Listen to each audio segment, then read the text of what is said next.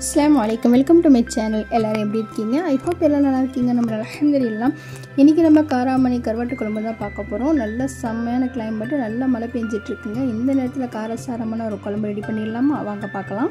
இதுக்கு நான் வந்து காராமணி எடுத்திருக்கேன். நைட்டே ஊற போட்டு எடுத்து வச்சுருக்கேன். அப்புறம் கொஞ்சம் காய் ஆட் பண்ணியிருக்கேன். முருங்கைக்காய் வெண்டைக்காய் சேப்பக்கிழங்கு மாங்காய் அதுக்கப்புறம் குச்சி கருவாடுன்னு சொல்லுவாங்க. நெத்திலி கருவாடு எடுத்திருக்கேன்.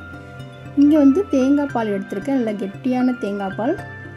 ரெண்டு வெங்காயம் மூணு தக்காளி எடுத்திருக்கேன். கொஞ்சம் பூண்டு தட்டி எடுத்து வச்சுருக்கேன். அப்புறம் புளி தண்ணி எடுத்திருக்கேன். இப்போ நம்ம குழம்பு தாளிக்க ஆரம்பிச்சிடலாமா? இதுக்கு நான் முதல்ல வந்து நல்லெண்ணெய் எடுத்திருக்கேன்.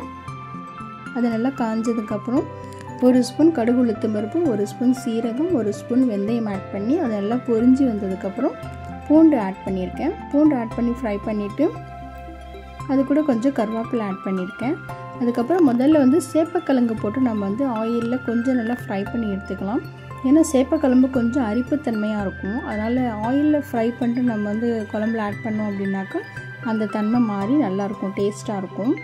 எப்போவுமே வந்து கருவாட்டு குழம்புக்கு சேப்பக்கிழங்கு கத்திரிக்காய் போடுவாங்க. கத்திரிக்காய் நான் ஆட் பண்ணலை. அதனால் சேப்பக்கிழங்கு வெண்டைக்காய் முருங்கைக்காய் ஆட் பண்ணியிருக்கேன்.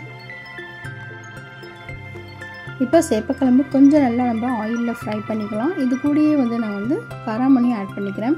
காராமணி ரொம்ப ஹெல்த்துக்கு ரொம்ப நல்லதுங்க. எப்பயாச்சும் வான்ஸ் நீங்கள் இந்த மாதிரி ட்ரை பண்ணி பாருங்கள் குழம்பு வச்சு கொடுக்கலாம் இல்லை நம்ம அப்படியே அவிச்சு கூட குழந்தைங்களுக்கு கொடுக்கலாம். ரொம்ப ஹெல்த் இதில். சில பேர் இந்த கருவாட்டு குழம்புக்கு வந்து மொச்சக்கொட்டை சேர்ப்பாங்க. மொச்சக்கொட்டை அதுக்கப்புறம் வந்து நிறையா பருப்பு வகையில் போட்டு சேர்ப்பாங்க. ஆனால் காராமணி வச்சு செய்யும்போது ரொம்ப டேஸ்ட்டாக இருக்கும். குழம்பு நல்லாயிருக்கும் இப்போ நம்ம காய் எல்லாத்தையும் ஆட் பண்ணியாச்சு. இதை நல்லா கொஞ்சம் ஆயிலில் ஃப்ரை பண்ணிவிட்டு மசாலா ஆட் பண்ணிக்கலாம். இதுக்கு நான் அரை ஸ்பூன் மஞ்சள்தூள் ஆட் பண்ணியிருக்கேன்.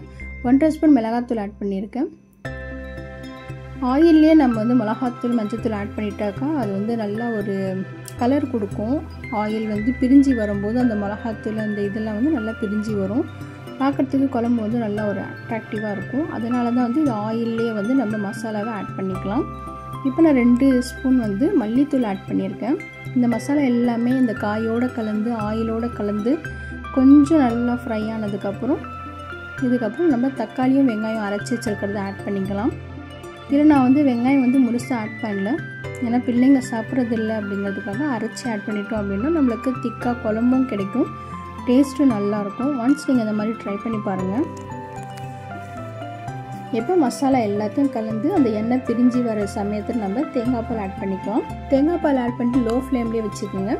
குழம்பு வந்து ஒரு கால் மணி நேரம் ஒரு ப பதினஞ்சு நிமிஷம் நல்லா அது சிம்லேயே வெந்தாலே போதும். காய் எல்லாமே ஒன்றா கலந்து வெந்து வந்துடும் இந்த டைமில் நம்ம புளி தண்ணி ஆட் பண்ணிக்கலாம்.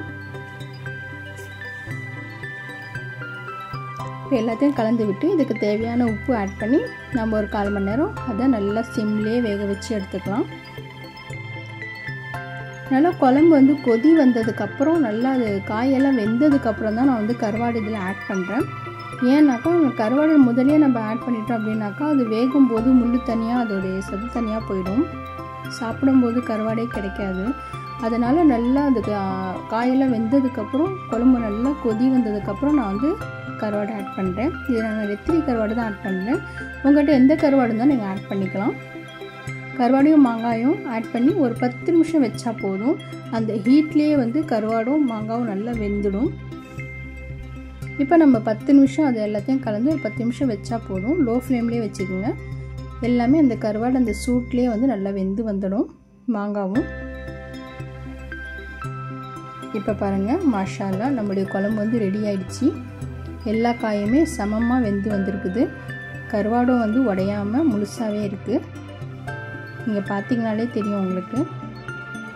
இப்போ நம்ம சர்வ் பண்ண ஆரம்பிச்சிடலாம். இதுக்கு வந்து தொட்டுக்க காம்பினேஷன் என்ன அவிச்ச முட்டை எடுத்திருக்கேன். அப்பளம் பொரிச்சிருக்கேன். அதுக்கப்புறம் வந்து பாவக்காய் பொரியல் பண்ணியிருக்கேன். இன்றைக்கி நம்மளுடைய மெனு இது தாங்க ஓகே ஃப்ரெண்ட்ஸ் உங்களுக்கு பிடிச்சிருக்கோன்னு நம்புகிறேன் பிடிச்சிருந்துச்சுன்னா லைக் பண்ணுங்கள் ஷேர் பண்ணுங்கள் சப்ஸ்கிரைப் பண்ணாதவங்க சப்ஸ்கிரைப் பண்ணிக்கோங்க. தேங்க்ஸ் ஃபார் வாட்சிங்